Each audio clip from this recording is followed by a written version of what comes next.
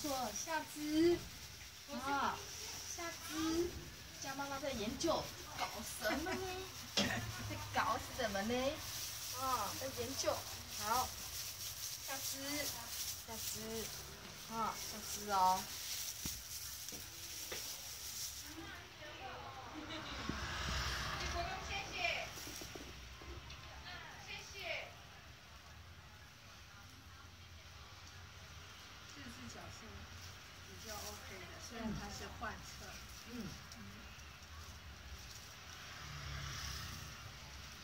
那通常我们，呃，髋关节的地方先做松，然后再过来做大腿肌群，啊，按压、刺激，然后完了以后呢，通常我们就会足部抬足跟、握足跟、握足跟，然后顶脚掌。我不晓得你你是不是也是，就是学的也是做这些，哎，抬足跟、顶脚掌，啊。脚掌，然后把这个角度尽可能往上拉，好，握足跟，顶脚掌，啊，然后慢慢的往上，好，把髋关节跟膝关节屈曲，曲起来，好，髋关节，大腿靠向肚子，有点声音。的会痛，啊，靠近肚子，然后膝关节，啊，膝关节角度缩小。脚掌靠近屁股，啊，脚跟靠近屁股，好，来拉直，啊，弯曲，好，拉直，弯曲，拉直，弯曲，拉直接走把那个，弯曲，弄过来一点，这样子，这样子清楚，这样，这样子，这样，好。屈拉直，那像这些都松动了以后，啊，角度已经慢慢拉过了，然后就做两个髋关节，就大腿，啊，大腿的角度要打开，啊，大腿的角度要打开，啊，大腿的角度要打开。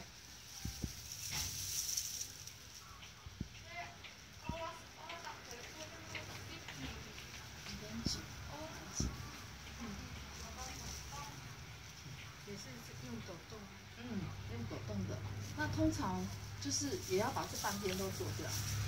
这半边做完，这半边做掉。那我们以前我的工作哈，常常会，因为嗯，大部分是治疗区啦，它有一个比较硬的，通常床哦比较软，哎不好不好使力。那我们通常就是脚呢拉出来，然后人呢就去顶，就是让它大腿是撇开的。那通常大部分都有肌张力才需要做这些，好，那那肌张力很紧，那因为我们人在两腿中间容易出力，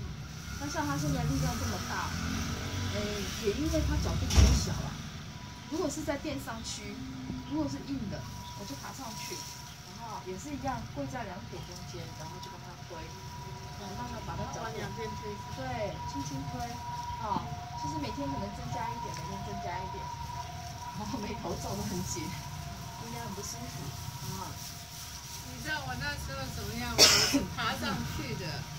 然后因为那时候线角度还比较大，今天就很小，我就把我的身体这样，我把我的头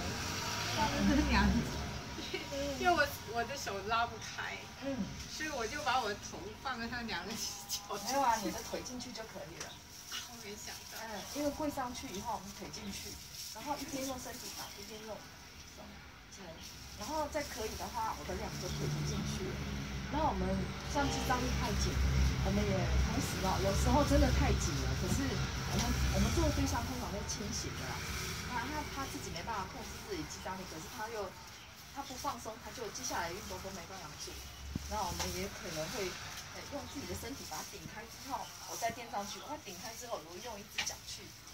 压在他的大腿，然后我们就把那个角度撑一下。然后整个肌张力啊，它被释放过之后，它后面运动就比较做得出来，会软。哎，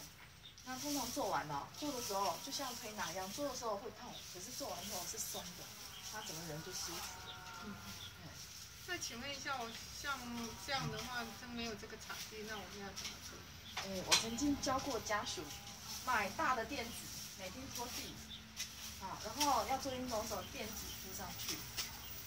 那他呃，我没有办法把它从地上再弄上来啊。妈妈妈妈很轻的，找两个人就抱得起来。那一般哈，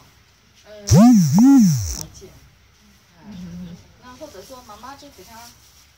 斜过去，啊，他脚就出来啊，出来我身体就挤进去了。哦，嗯，如果说用个大枕头，他睡觉的时候把它放在那个中间，O 不 OK？现在是这样，刚刚是这样，嗯可是那个枕头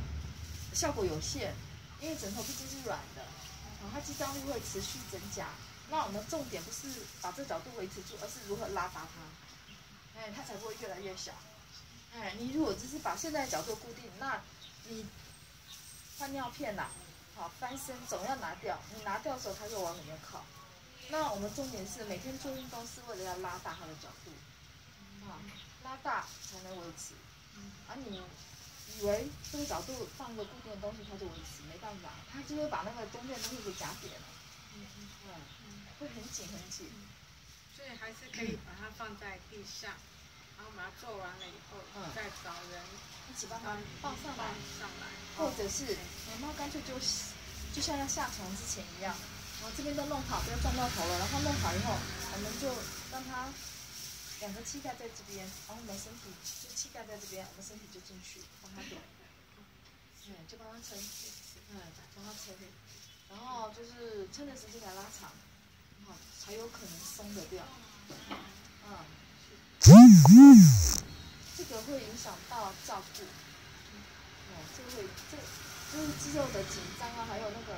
呃关节的角度啊，会影响到呃最基本的照顾啊。嗯，甚至是他的行动能力，而是就说穿脱衣，还有夏天的时候可能会长湿疹，还有尿片处理就没办法很干净。啊，那个排泄物会残留，因为角度很难弄，那就没办法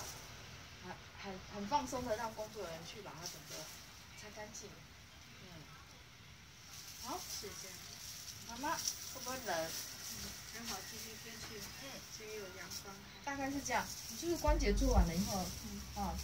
髋关节的角度拉完了以后，就因正常的都是一一个侧边做完，然后做一个侧边做完，然后完了以后去拉角度。好，那一个侧边呢就涵盖髋关节、膝关节、踝关节。好，踝关节我们刚刚只是说握手，好，然后顶顶着足底，然后拉这个角度，然后还有包括指关节。哦，指关节，对，然后脚掌，脚掌，好，现在因为也蛮硬的啦，好，如果说正确的做法就是才在初期就整套东西都做上去，就是每这个都这个是要花很多心思的，比绣花还要难。那那你你们那个养护所有这样做？哎，我们现在进来，目前需要这样做的只有两个，啊，只有两个，你先把它盖起来了吗？因为我们大部分的个案，好都是以运动以运动为主。所以我们大部分都是训练，譬如说他手进来还能动，我们就会教着他用监测器握换侧手，然后监测监测当然是没问题，下肢的换侧我们就是练肌力。那我们目标的话是以躯干跟下肢行走，好，那不一定能练练到行走，可是他他的呃，譬如说他的活动度啊，或他的角度啊可以维持，他不一定能行走，可是力量可以慢慢上来，好，也有可有可能是做的比较正。好，或者说扶扶的东西可以站直，好，或者说蹲马桶的时候比较不会歪向一边，嗯，好像这些都是回家。对回家会家人会减轻照顾的负担啊，嗯，就是教一些运动方法让他去做提升。太好没有了，没有，嗯，好，那个妈妈这边要帮他移回去吗？没关系没关系。